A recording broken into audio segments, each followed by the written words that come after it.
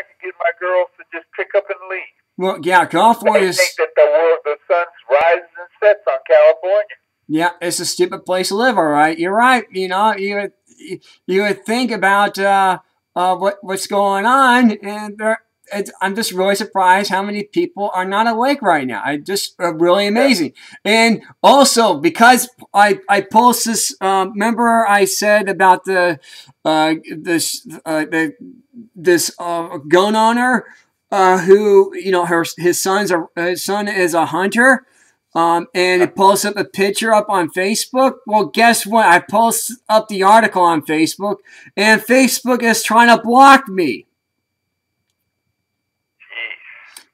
Facebook is trying to block me already. Somebody's out out for you. Somebody's trying to get you, so you just need you. I'm glad you're aware of it, so you can just do what you got to do. You know, and this is something that needs to be addressed. It needs to be addressed, Ron. It does. well, who's going to address it? We are. Okay. We're doing it. We are. We are addressing it.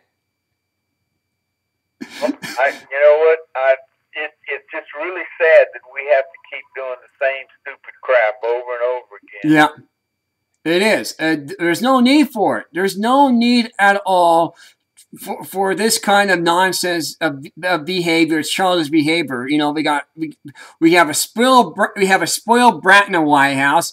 We have um, these Boy, ter- you're nice.